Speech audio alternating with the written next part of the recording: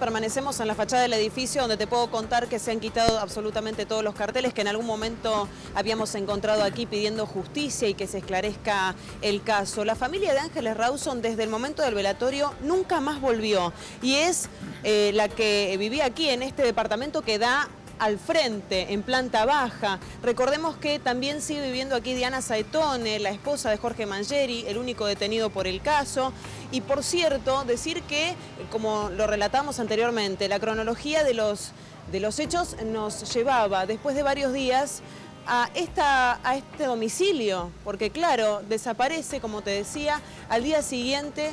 conocemos la tragedia, de cómo había sucedido todo, de cómo apareció el cuerpo,